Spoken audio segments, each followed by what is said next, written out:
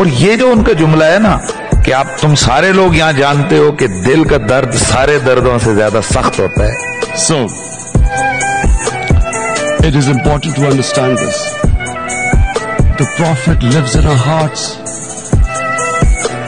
when he is ridiculed when is insulted it hurts as we human know we human beings understand one thing. The pain of the heart is far, far, far more hurtful than physical pain. And that's why the Muslims react.